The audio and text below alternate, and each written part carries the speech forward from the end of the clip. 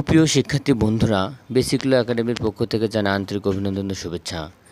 আমি একটি মডেল টেস্টের নিয়ে একটি ভিডিও করছি। মোটামুটি দশটি এমসিকিউর আছে, এগুলো আপনারা একটু পড়বেন। আর এটা চূড়ান্ত মডেল টেস্টের একটি অংশ। তো শুরু করা যাক। হ্যাঁ কোনো মামলায় আপনি বাদী অথবা ফরিয়াদি পক্ষের আইনজীবী ম্যাজিস্ট্রেট অব্যাহতি আদেশ প্রদান করলে আপনি কি করবেন? আপনারা একটু উত্তর দেওয়ার চেষ্টা করেন। রিভিউ করবেন না আপিল করবেন না রিভিশন করবেন? না যে কোনো একটি করবেন। সঠিক উত্তরটি হচ্ছে গ। রিভিশন করবেন। বিচারিক ম্যাজিস্ট্রেট বা জুডিশিয়াল ম্যাজিস্ট্রেট হচ্ছে যিনি মামলার বিচার করেন, না যিনি দণ্ড প্রদান, সংক্রান্ত মামলার বিচার করেন, না যিনি ক্রোক আদেশ প্রদান করেন, না যিনি শুধু মৃত্যুদণ্ড আদেশ প্রদান করেন। সঠিক উত্তরটি হচ্ছে খ। যিনি দণ্ড প্রদান সংক্রান্ত মামলার বিচার করেন। ফৌজদারি কার্যবিধির চুয়ান্ন ধারা কোন বিষয় বর্ণনা করা হয়েছে? এখানে বলা হয়েছে যে ফৌজদারি কার্যবিধির চুয়ান্ন ধারা কী বলা হয়েছে? আপনারা একটু ভেবে উত্তর দেওয়ার চেষ্টা করেন। বিনা পরোয়ানায় গ্রেপ্তার। কী বলা হয়েছে? বিনা পরোয়ানায় গ্রেপ্তার। উত্তর ঘ।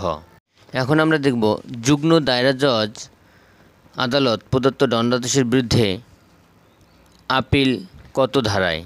অর্থাৎ, যুগ্ম দায়রা জজ যদি দণ্ডাদেশ দেয় তার বিরুদ্ধে আপিল হচ্ছে চারশো আট ধারায়। এখন তারপরে ছয় নম্বরটা এখানে দেখি। নালিশ খারিজ হয় ফৌজদারি কার্যবিধির কত ধারা মতে? খুবই গুরুত্বপূর্ণ।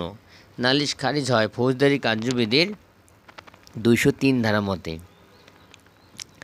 নিচের কোন অপরাধের দণ্ডাদেশের বিরুদ্ধে আদালতে টাকা জমা দেওয়া ব্যতীত আপিল করা যাইবে না? তো বলপূর্বক সম্পত্তি আত্মসাৎ চুরি মানহানি এবং চেক ডিজনার।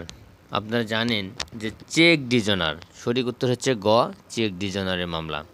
চেক ডিজনারের মামলায় টাকা না দেওয়া পর্যন্ত বা দাখিল করা না পর্যন্ত আপিল করা যায় না। এখন আমরা দেখব নারাজি আদালতে আদালতে মঞ্জুর হলে এক্ষেত্রে আর্গুমেন্ট ফৌজদারি কার্যবিধির চেষ্টা কত ধারায়?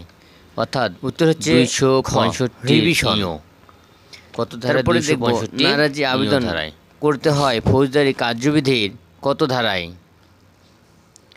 ফৌজদারি কার্যবিধির দুইশো ধারা অনুযায়ী। এবার এখন আমরা দেখব ম্যাজিস্ট্রেট কোন ধারার অনুযায়ী নিজেই মামলা অনুসন্ধান করতে পারেন। কত ধারা অনুযায়ী? অর্থাৎ দুইশো দুই ধারা অনুযায়ী। আমরা এখন দেখব ফৌজদারি কার্যবিধির অনুযায়ী কোন কারণে আপিল বিভাগ কোনো মামলা স্থানান্তর করতে পারেন? তো সুপ্রিয় শিক্ষার্থী বন্ধুরা, এখানে ঘর নাম্বার কোশ্চেনটা মিস, মিস্টিং নাই এখানে, মিসিং হয়ে গেছে।